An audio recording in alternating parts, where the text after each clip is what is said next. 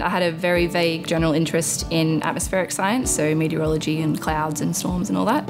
I've always been inspired by Stephen Hawking. He always goes after the big questions. It really shows passion. When I was enrolling in my subjects, I saw astronomy as a, a unit and I thought, that'd be cool, I'll take it as an elective, you know, do one semester. I was so interested in it that I wanted to do research, I wanted to do my own stuff, I wanted to learn more than what they could teach me. That's when I started my honours year, and that's when I got into the project that I'm doing now for my PhD. My topic is inhomogeneous cosmology. Cosmology in general is the study of the whole universe. You don't realise how different research is from regular university until you do it, and you realise I actually have to figure this out on my own. And you go to your supervisors and they can't immediately tell you the answer. you ask them a question, they go, I don't know, it's research. so I've actually got to go and figure it out for myself, which is hard, but I'm learning how to do that.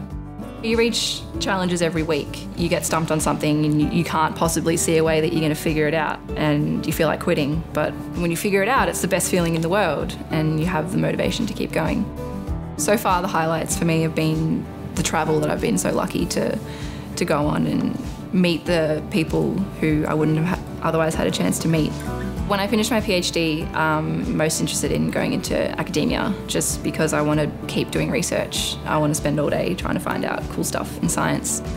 My advice to anyone thinking of doing a PhD at Monash would be to do it. Everyone who's done it can help you through it, and everyone who is currently doing it has been through any problems that you have. So you always have people around you to support you. Even though it is hard, it's equally as rewarding. You've just got to remember how much you love it. A big part of it is taking a step back and explaining the big picture of what you're trying to do. And I get to say, hey, this is actually really cool.